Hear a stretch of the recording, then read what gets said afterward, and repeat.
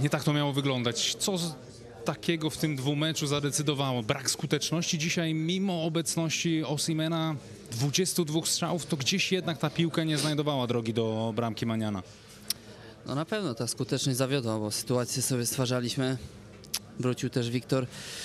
Dużo ruchu było z przodu, ale niestety nie udało się strzelić tego gola szybciej i już później zabrakło czasu. No niestety mm, w pierwszym meczu i w rewanżu na pewno ta skuteczność była na, nie na naszym poziomie.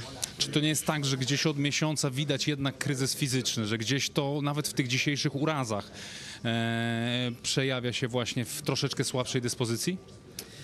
Może tak być. No, taki niestety bardzo ważny okres, ale też e, ta nasza forma fizyczna może nie jest na tym topowym poziomie i gdzieś e, odczuwamy, odczuwamy te, te, ten sezon, ale myślę, że w przeciągu tych dwóch meczów e, było na tyle sytuacji i na tyle momentami przeważaliśmy mecz, że powinniśmy e, powalczyć coś więcej.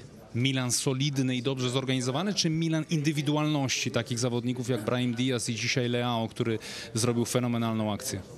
Ja myślę, że i to, i to, bo indywidualności mają naprawdę na wysokim poziomie. No Leo, te, tą akcję, co zrobił przy golu, no to fenomenalna, fenomenalny zawodnik. Myślę, że my mogliśmy sfaulować go szybciej i do, tej, do tego gola może by i nie doszło, ale na pewno solidna drużyna, no z tyłu też e, mocni zawodnicy, mo, bardzo fizyczna drużyna i nie gra się z nimi łatwo, ale myślę, że trudno, no niestety przegraliśmy. Miasto musi zaraz się przygotować i zapomnieć o tym, przygotować na, na festę Scudetto, no bo, bo chyba jednak jest to sezon wielki mimo wszystko, który dzisiaj pewnie boli, ale przejdzie do historii.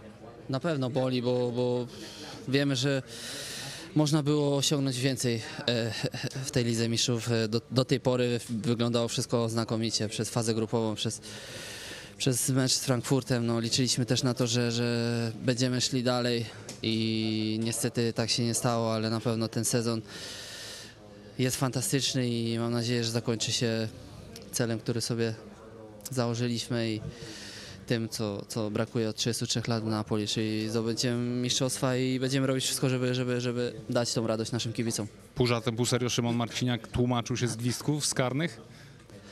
Nie, nie musiał się tłumaczyć, bo uważam, że karny był ewidentny, tak, dla, przeciwko, przeciwko nam i dla nas, także nie no, super zawody, no jest to sędzia na najwyższym poziomie, myślę, że najlepszy teraz na świecie i możemy się cieszyć, że mamy Polaka najlepszego sędzia na, na, na świecie.